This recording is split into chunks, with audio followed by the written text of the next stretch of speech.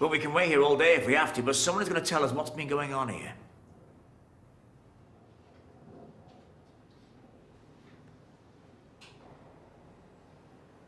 Him, I'd expect the silent treatment from. But you, you practically lived at ours over the summer. I would have thought you owed me a little bit more respect. Well, that's why I'm not saying anything. If you want to know what happened, ask Josh. Finn, Josh? I haven't done anything. He's totally lost it. He just attacked me out of nowhere. You're the one who's lost it. Pretending to be my best mate, then trying to put your tongue down my throat. You liar. You what? Your son tried to kiss me this morning, that's what. He's lying, Dad. I don't know what he's on about. Why can't you just tell him, Josh? And just tell him what a little gay you are. Hey, that's enough. You can't talk. You're the one who's sucking up to Connor. Hey, hey, enough. Wait, sit down. Whatever's gone on, there's no excuse for that kind of behaviour. You heard what Mrs. Fisher said this morning. Zero tolerance. Now, whatever Josh has done to upset you, you do not lie. Why would I lie about him trying to kiss me? Why would I do that? There's no excuse for you attacking him like you did.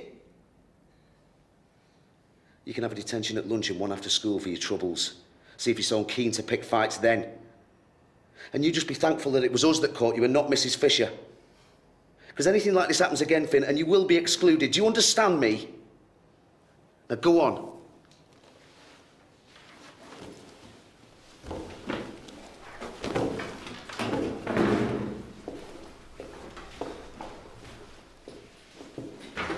Just wait there one second, Josh, please.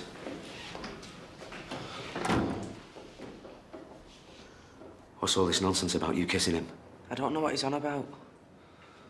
Seriously, Dad, he's been acting jealous ever since he got with Lauren. I think he probably fancies her as well. Probably trying to split us up. All right, well, you keep your distance from him. I've had enough problems trying to keep you out of trouble today. I don't have to do it again. And now go on.